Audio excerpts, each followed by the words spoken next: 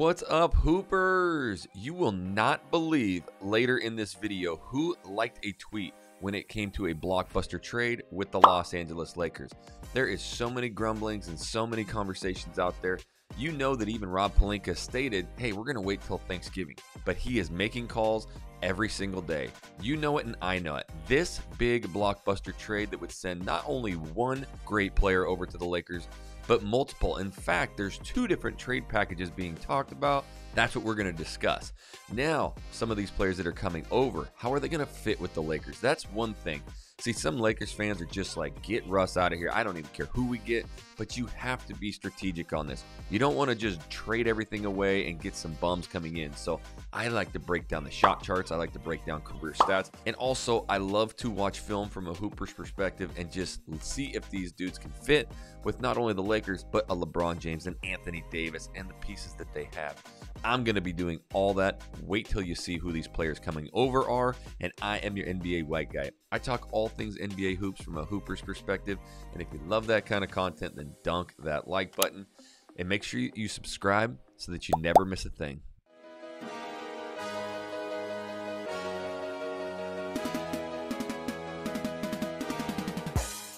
Always find it fascinating to see these trade talks and to, to break it down. That's the first thing that I usually do. Who's the players involved and what does this mean for the team, you know, acquiring the players? What are their strengths and what are the weaknesses of the current team?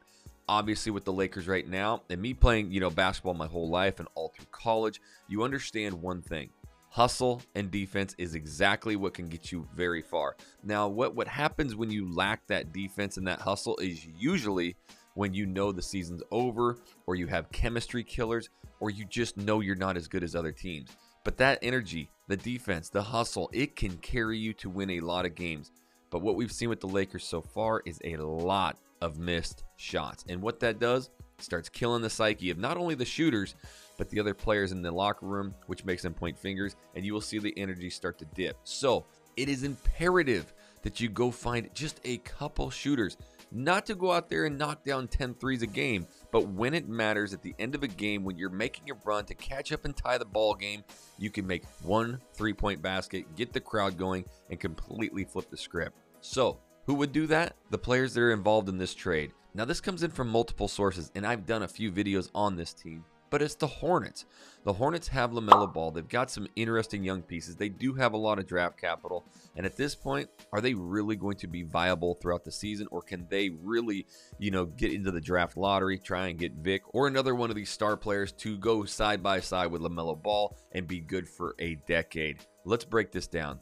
Now, as I, I told you, there's actually a few different trades. So this is the first one that I saw. Everybody's reporting on this stuff, and there's been a bunch of tweets.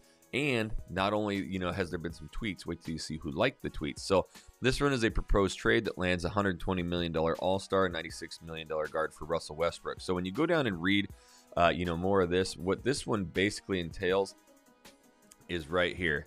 Now you've got yourself LaMelo Ball, but obviously with a massive draft class, everybody's talking about Big Vic there, but you got Scoot Henderson. There's some great players that you could team up. So, you know, you could take a year off and just kind of get this team where it needs to be. We saw this with the Pelicans. Zion was ready to go last season.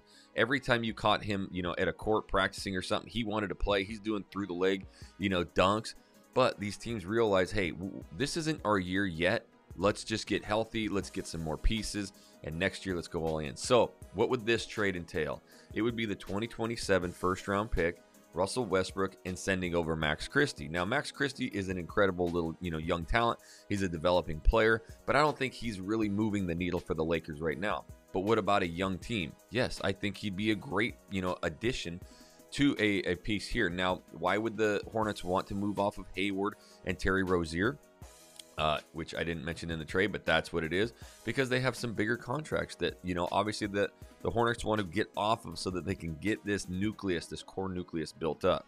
So, what does that mean for the Lakers? Well, let's just show you over here on the shot chart. This is Gordon Hayward's career shot chart. Now, the one thing I want to talk about is not just like, okay, he can shoot 30% from this corner, 60%. You know, it's it's not the the percentage near. It's it's like what does this shot chart truly mean? Like I, I look at this from a hooper's perspective and and right away the first thing that I notice 2,758 three three point attempts, a career 37%. In fact, I looked up, um, you know, his stats from the past few years. Obviously, he had that bad year. Man, you remember that that Celtics team when he, he was actually against LeBron and the Cavs when he snapped his leg. Look at he bounced right back the next season with 72 games. So right now he's playing anywhere from 45 to, to 50 something games. You know, is that troublesome? Not really. I think you know if he's playing for a team who's truly title contending, I think he'll play more games. You know, he's been with the Hornets. They're not really even a, an exciting team. Uh, and the fit with the Celtics, it just didn't work. So that's this is the year you saw him basically wanting out. That whole team was a mess. That's Kyrie Irving, all that. But if you look at it, I mean, some of these major years that he was playing last year 38 point, uh, percent 41% 39% so this is a guy who shoots a ton of three pointers every single season. Now, the one thing I've noticed with the Lakers is they're incredible at defense. They're incredible at hustle. And yes, Darvin Ham, I am applauding you for getting them to do that. But we got to get some shooters out there. And uh, and honestly, you know, a guy like Matt uh, Ryan, Cole Swider, these dudes need you need to put them in some later situations to to see if they can hit some shots down the stretch because that is the number one thing you need.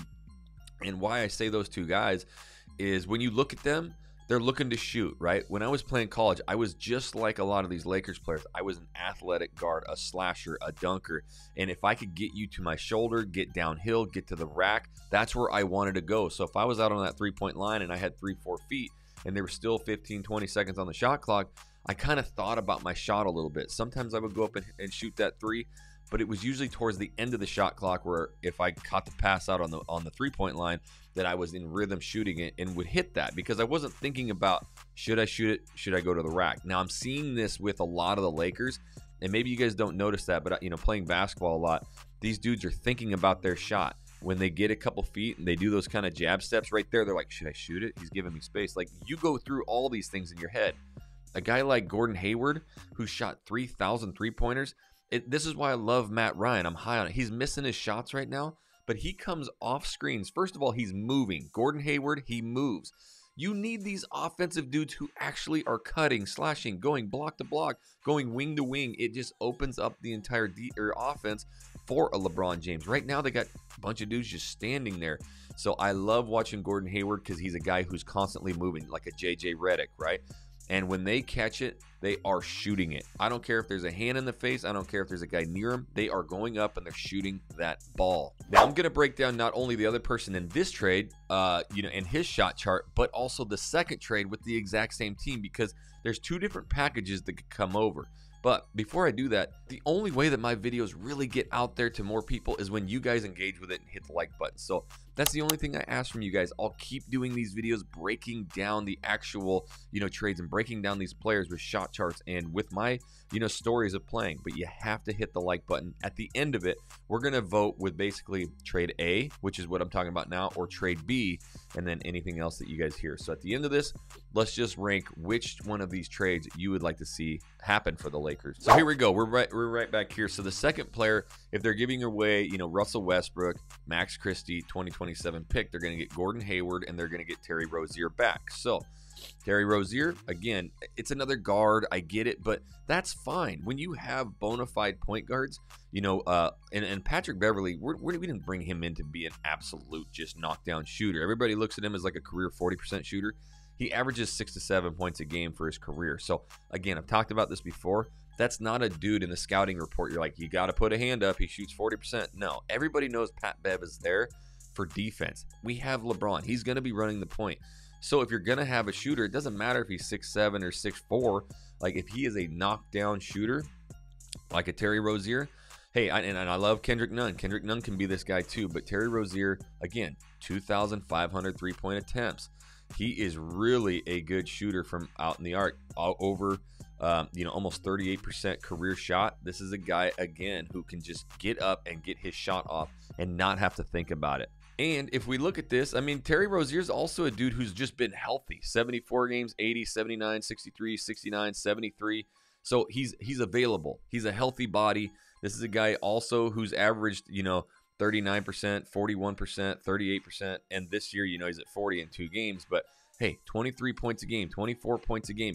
Now you have a guy like Lonnie Walker who can pour in 20. You got a, a point guard like Terry Rozier who can pour in 20 and shoot 40% from the three point line. This is a completely different, you know, team. And uh, Terry Rozier's always been a hustle guy as well. So, uh, you know, an over 40% shooter. So, a guy who's healthy, who can shoot good from three point line and go get a bucket. This makes the Lakers more unguardable, right? Right now, what are they doing? They're just packing the paint because a guy's dribbling up.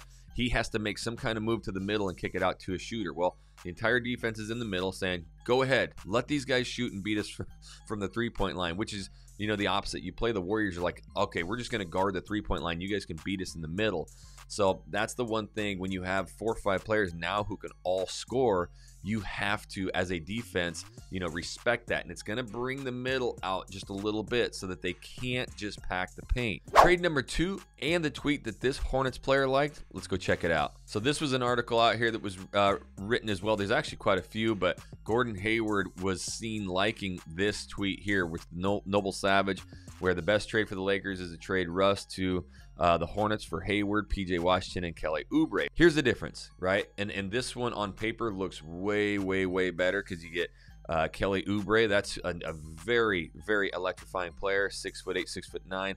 He is confident as you know what. And so I, I love confident players, especially wearing the purple and gold, because it's just a different mindset, right? Uh, you're seeing it right now. The, the the purple and gold playing against or, or with side by side with LeBron James, it makes players sometimes shrink. Or some players have their career years because they're wide open all the time. So a guy like uh, Kelly Oubre, that dude just bleeds confidence. So um, PJ Washington is another guy. So I think if you go Gordon, PJ, and Kelly, obviously there's three players there. So we gotta either send more players over or you gotta waive some. So I think a guy like Max Christie would probably be in the trade. Obviously Russell Westbrook, and then they can write that contract off next year. So you get some young talent. I'm I'm sitting here going, I don't like the trade, and I want to keep and maintain him.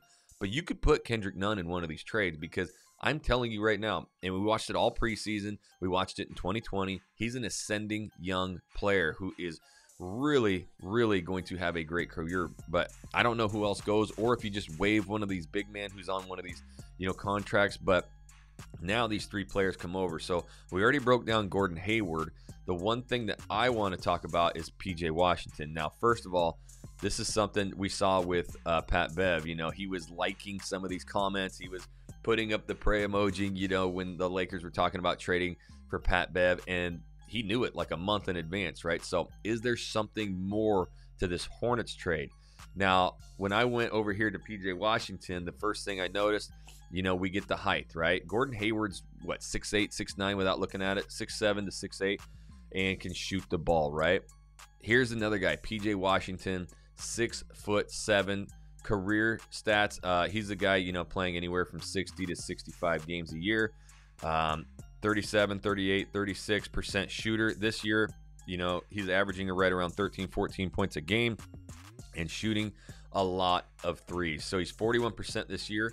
But what I'm looking at is I like guys who who shoot uh, a lot of threes and what's their percentage. So already through two games, he's averaging six three point or uh, yeah six three point attempts a game at, at 40%. So we need to have these bona fide shooters out there. So as you can see here, he shot 833 uh, three pointers. It's just over about three seasons.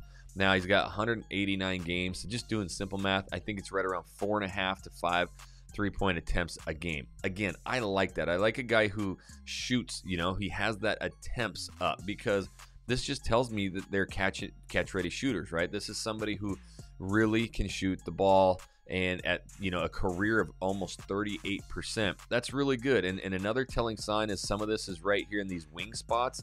So and you know, a lot of guys are really good from the corners because it's just a little bit shorter of a three. He obviously is over here 46% but he's a confident shooter and the majority of his three pointers are coming from the top over here. So if you're going to run pick and rolls lebron james and anthony davis or kendrick nunn or patrick Beverley's this pick and roll we were getting a lot of these shots on these wings right here, and nobody's hitting them. So it's good to have a good, confident six foot seven wing who can hit from straight away or from these top wing positions. And now you go with some kind of starting lineup. Now I'm loving Lonnie Walker, and that dude is pure athlete. Some of those those finishes where he's up there, you know, finishing up halfway up the glass, his head's at the rim. I love that, and he can pour in 20 points. But um, that's a that's a great player to bring off the bench to carry that second unit, or he can start whatever. But if you've got a PJ Washington at six foot seven, a Kelly Oubre, what's he six foot eight? Gordon Hayward six foot eight, LeBron six nine, Anthony Davis. Now you've got a plethora of these wing uh, style players, and they're also shooters, right? So this is really going to increase that size, um, you know, and, and you could see with some of the uh, smaller players out there that they have with the Patrick Beverley, Lonnie Walker, even Juan Toscano, who's six foot six. They are playing incredible defense, and you can't forget about your other NBA white guy, Austin Reaves. I love me some AR this year. But th- this brings in, you know, plenty size. Man, you got a guy like Kelly Oubre out there too with his hustle, his He's the only one that's kind of an oddball though too because he does like the ball a lot. I mean, he does shoot a ton. Um, so is that going to really affect stuff, or is it going to work great with a LeBron James? Because the other thing you need with a LeBron James team is cutters and slashers and athletic people because he's going to get into the middle, and if you're cutting and slashing in there instead of just standing, so we, we can have people standing out there for shooters, but you have cutters, they're going to get wide open dunks. So now it's your turn to vote. A would be bringing over Terry Rozier and Gordon Hayward. B would be Gordon Hayward, PJ Washington, Kelly Oubre, and obviously maybe sending both the picks. So for this one, we're going to send one pick for Terry Rozier and uh, Gordon Hayward. We're going to send two picks, Max Christie, uh, to get Kelly Oubre, to get uh, Gordon Hayward, and to get PJ Washington. So you guys vote down below. Which one would you like to see more? That's a tough one. Either way, I would love to see this trade with big, tall shooters. Tough uh, point guard play out of Terry Rozier. Incredible young athletic play out of Kelly Oubre. But Gordon Hayward's a shooter. PJ Washington's a shooter. Terry Rozier, which one you like most? And I am your NBA white guy talking all things NBA hoops from a hooper's perspective. So make sure right now, if you haven't yet, do me a favor, hit that like button. And make sure you subscribe so that you never miss a thing. And until my next video, homies, we'll catch you later.